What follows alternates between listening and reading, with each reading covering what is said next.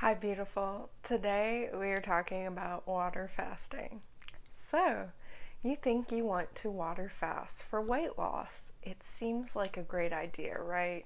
You've seen all these videos on YouTube, pictures of people who have fasted, maybe doing water fast or juice cleanse, master fast. People who've had these amazing transformation, drop so much weight in just two weeks, three weeks, four weeks, five weeks, sometimes with the master fast, it's like 108 days. You've seen these people carrying excess weight go from larger frames to very ideal, light, lean, awesome looking physiques, this brightness, this radiance about themselves, better health, all these different things. And you're like, man, I want to water fast for weight loss.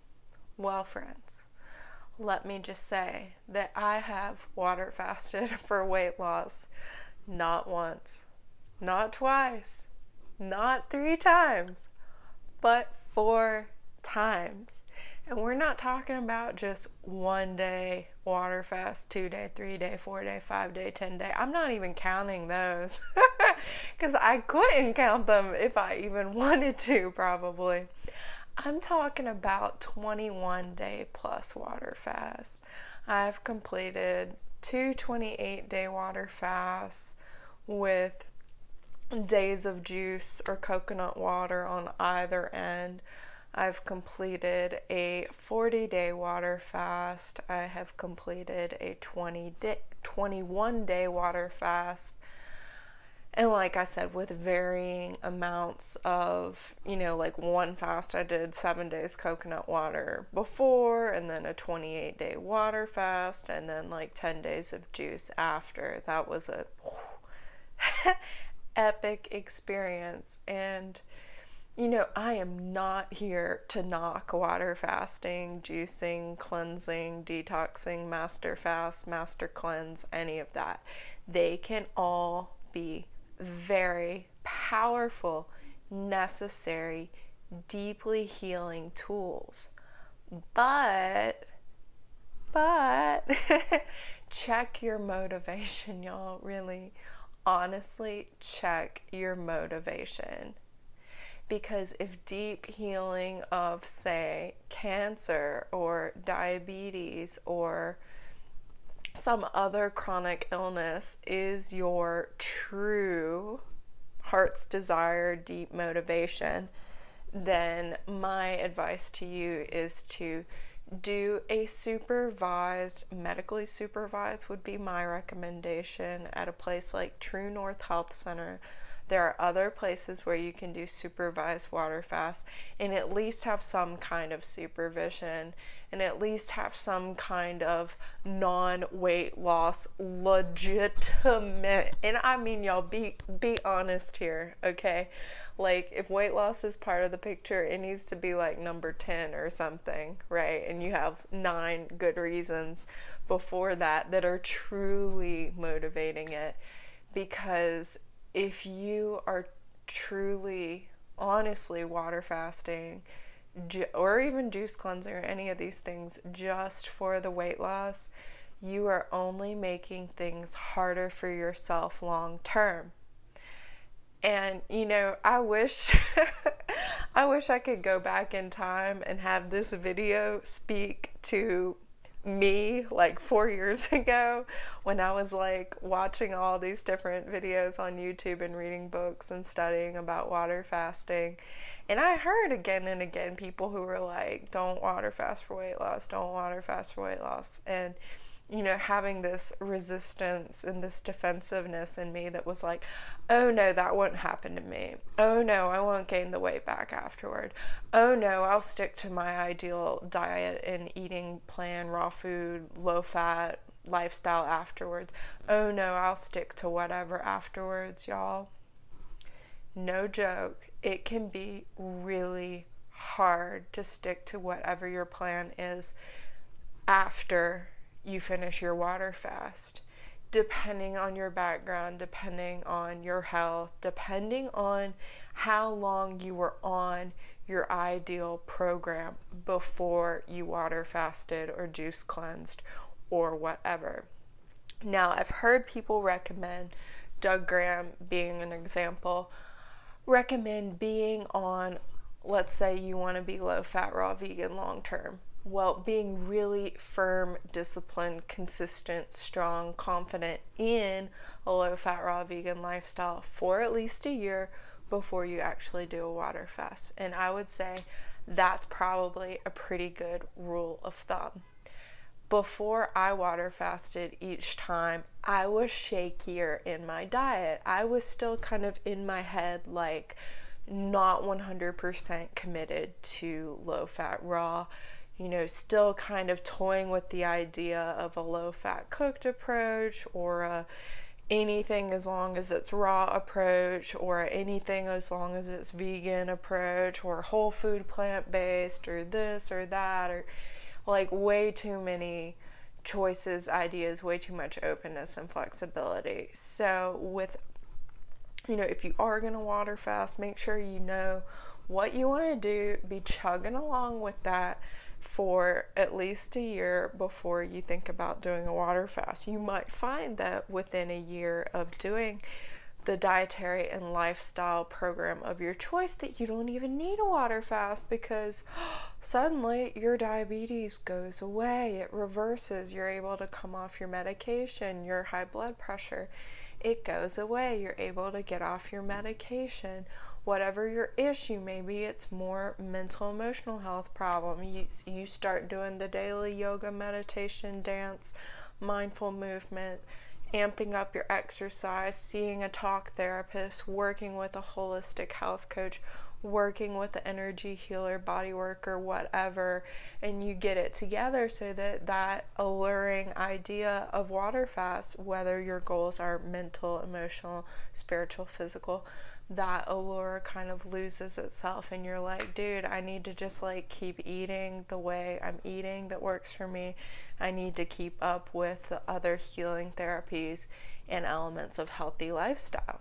So, like I said, I wish I could go back in time and like watch this video that I'm shooting right now because, yeah, four years ago, yeah, it was about four years ago, 2015 um, was when I was collecting data on water fasting and making up my mind. And then I started my series of long water fasts, and it just kind of got me worse and worse. And I am only now in a place where I feel like is where I wanted to be then. Like I'm I'm having the experience in my body, mind, spirit, soul, emotional self that I was so desiring back then. So, eat, y'all. Keep eating, you know, slow and steady progress is the way to go, especially if weight loss is your goal, especially if you have a lot of weight to lose. It's going to be a, a longer journey, but you know, depending on other factors, the rate of your weight loss maybe quicker at times, maybe slower at times. It's going to be variable, but it will happen, especially on a low fat, raw vegan diet. In my experience, that is what has worked for me.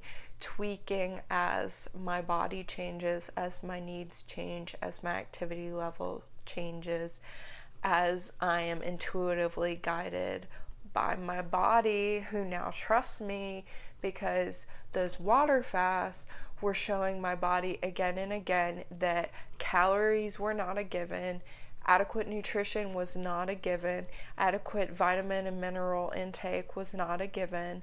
So I did end up with deficiencies. I did end up with massive cravings. Sometimes, usually after the water fast for the first month or so, I was like, I was like little light being like breatharian, didn't didn't need food, didn't really need much of anything, didn't really crave much of anything, kept things really clean, really simple, kind of like how I eat now almost, um, which is ironic, right? um, and then slowly but surely those cravings would set in. You know, I think after my first long fast, it took it actually it, it wasn't that long. It was like about a month in because I had a major stressor happen after and then it was like bang going to Walmart at night getting two jars of nut butter and chowing down or eating a pound of nuts or or or then it was slippery slope into like oil and then cooked food and then it was you know cooked food all day every day and yeah way too much food for my system and not the foods that work for me.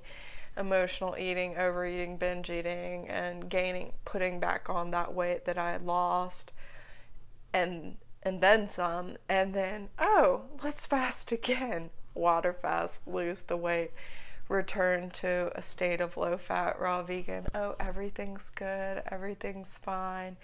And then after that fast, it was about, yeah, I, I was really strict with myself after that one because I didn't want what happened before to happen again. And stayed low fat, raw, was not allowing myself any fats. And then about, two months in, I was like really craving fats. I was craving beans. I started incorporating some of that. Started incorporating salt, and and then at about the four or five month mark, I just like bottomed out and again returned to this like cook food every single meal. Not that there's anything wrong with cooked food, but it doesn't work for me. And I was not doing it in a balanced way of like reasonable portions. they were not reasonable. you know, with raw food, portion size can be quite large because the calorie density is a lot lower, but in cooked food, the calorie density is higher. I was eating like raw food portions of cooked meals, and it was just it was way too much for my system and I did not feel good energetically on any level. Stopped moving my body and was just really like living for my next fix of really heavy food. And um, yeah, again, this coincided with a few different stressors, and that's how I was coping was with the food. So another big caveat: if you're thinking of water fasting for weight loss, not only should you stick to your optimal, ideal dietary program for a good long time before you even consider it.